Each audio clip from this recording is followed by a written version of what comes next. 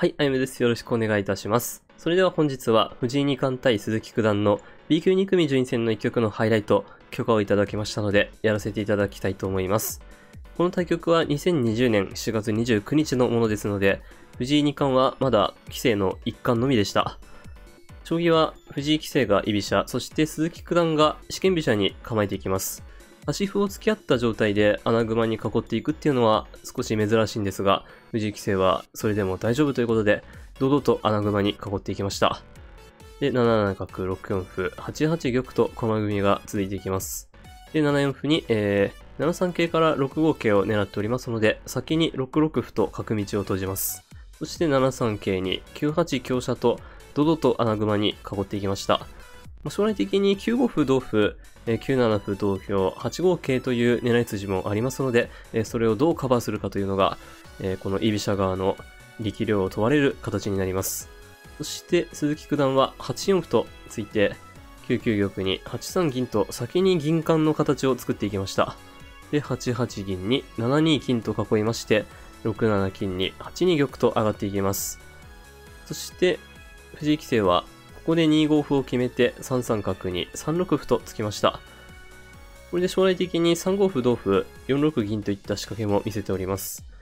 ここで鈴木九段は4五歩とついて4六銀を消しつつ3三の角を働かせに行きました。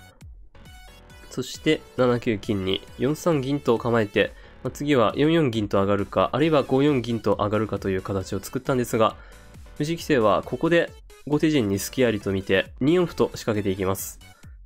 で、同歩に6五歩と突っかけていきました。これが鋭い一着で、え早くも居飛車が若干有利という裁定を AI は下しております。まあ、ちょっとこれだけで有利になってしまうっていうのは本当に恐ろしいところですね。で、実は AI はもうすでにこの局面で居飛車にプラス300点ほど有利という数字をつけておりまして、藤井棋聖としては間違いなく研究手順だったと思われます。あちなみに2四歩に、えー同角の場合は3五歩と1回つけまして、えー同歩に6五歩という手順があります。で、一例として同桂なら1一角成と香車を拾いまして、で、5七桂成、同金と銀は取られてしまうんですが、まあ、桂香と銀の2枚替えなので、これは居飛車がいいということですね。えー3六歩も6七金とさらっと貸しておけば、居飛車が十分でございます。まあ、これがまあの3五歩の突き捨ての意味ですね。もし3五歩の突き捨てが入っていないと、この時に5七桂成となった手が、え同金、同角成という変化がありますので、まあ、3五歩同歩を入れて2四の角道を遮るというのが非常に重要でした。まあ、ということで、え実戦は同歩と応じて6五歩と藤井棋聖がついていきます。でここでまあ、同桂と取る変化、あるいは2二飛車と回る変化、えー7七角成と取る変化、いろいろあったんですが、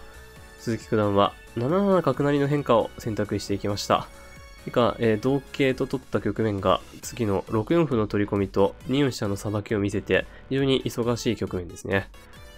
でちなみに、まあ、ここの6五歩の局面で、えー同桂と取る変化も有力なんですが、これは3三角成同桂に6八銀と引いておいて、えー次の2四飛車が非常に厳しく残ります。例えば2二飛車と受けても5五角と、まあ、3三の桂取りと、そして6四角とさばく味を見せまして、これも居飛車が十分の進行ということになります。また、えー6五歩に2二飛車と回る手も、6四歩とじっくりこの歩を取られまして、が2五歩なら3七桂とさばく手がありまして、で、2六歩、4五桂と、えー強くこの右桂をさばかれて、3一角を狙われると後手が悪くなるといった実戦例もあります。が、えー7七角成に、この場合は同金と応じまして、で、6五桂なら、6三歩成から5五角で王手飛車をかけてしまうということですね。また、2七歩成なら、6八飛車と回りまして、6筋を逆襲いたします。例えば、3七となら、5三桂成、同金、3一角、で、えー金と飛車の両取りに打ちまして、5二飛車に5三角成、同飛車、6三金で、後手陣が崩壊すると、えこういった一本道の変化もありました。こうした変化をすべて踏まえた上での鈴木九段の7七角成でした。そして藤井棋聖も同桂と取りまして、以下、6五歩と鈴木九段がじっと手を戻していきます。まあ、6五桂でいってしまうと、えー同桂同歩にまあ、5五角や6四桂といった手がありますので、まあ、同歩は、こう6五歩は仕方ないところですね。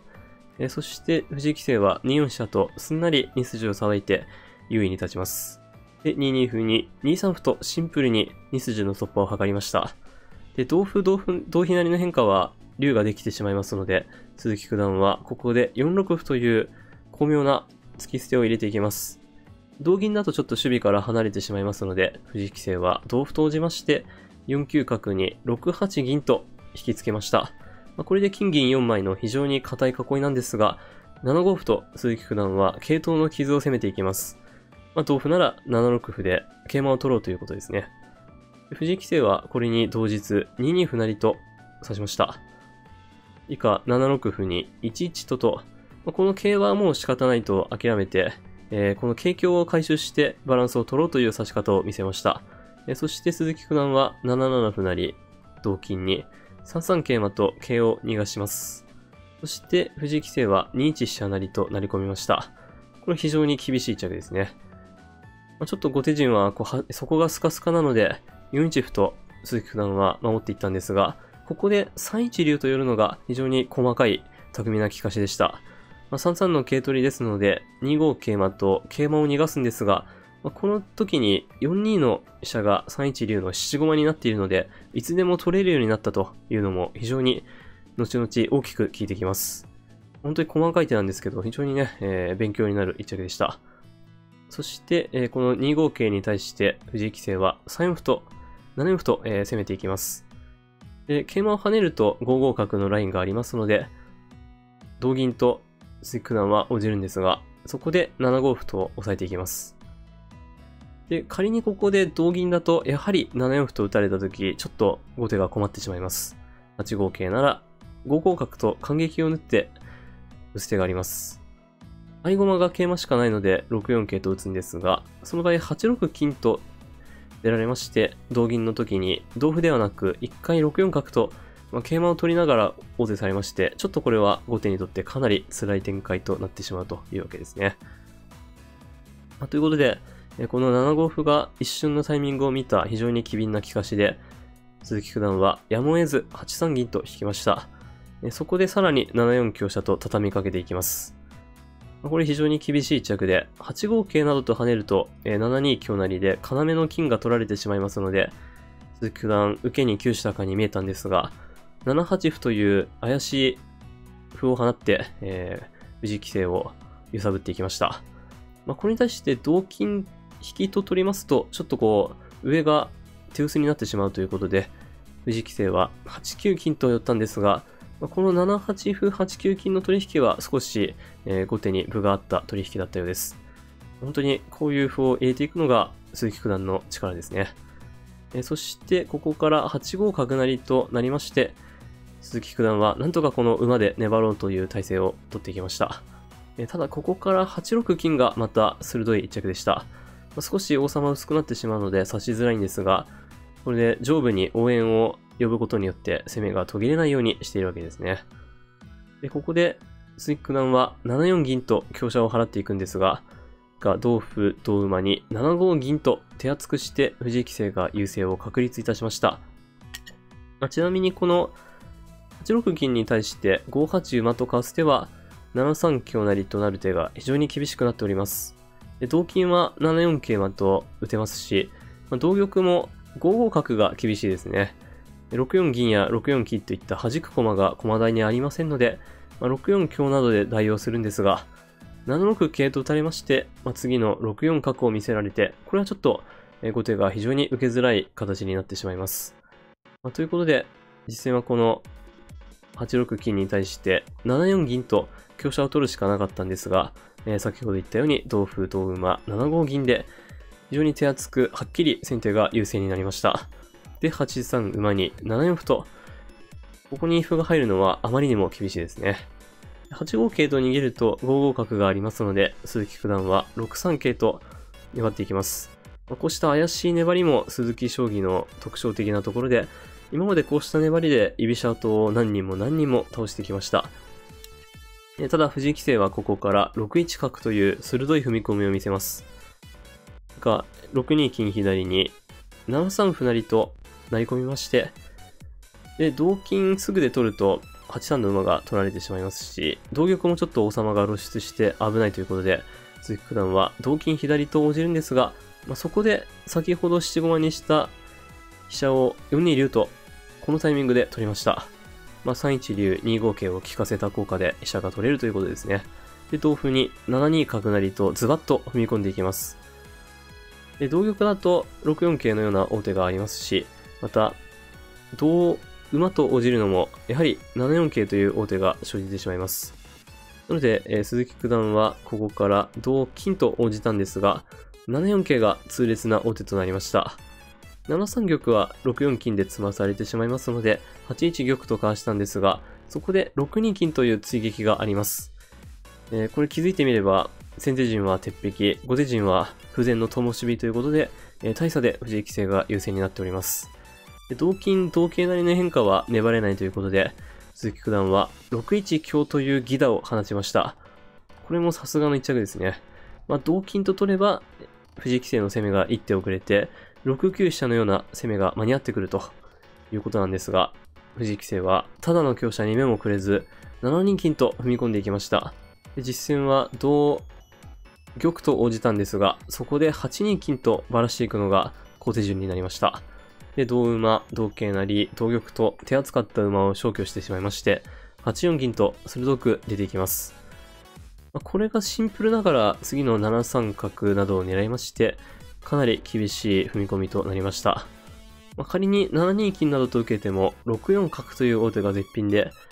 で、7三に、敬愛などですと7四歩で潰されてしまいますし、まあ、金合も同銀成、同金に7四歩と打たれまして、6四金と角は取れるんですが、そこで7三金と打たれると、どこに逃げても、7一玉なら7二飛車ですし、9二玉も8二飛車、9三玉も8三飛車という要領で、まあ、どこに逃げても詰まされてしまうという格好ですね。えー、ということで、実戦はこの8四銀に対して鈴木九段は6九飛車と攻め合いに行ったんですが、これはもうほとんど形作りといった一着で、藤井棋聖は6四角と打って鈴木九段の王様を即積みに打ち取りました。以下、7一玉に7二歩が手筋の一着で、6二玉、7三角成まで鈴木九段の投了となりました。か、5二玉なら、5一飛車まで一手詰めで詰ますことができます。ということで、藤井棋聖のそのまま定石本に載せても全く違和感がないようなノーマル試験飛車攻略で鮮やかな勝利となりました。鈴木九段としても敗因を上げるとすれば、おそらく序盤の駒組みのところぐらいしか上げられないと思うんですけど、本当にね、もうすごい勝ち方だったと思います。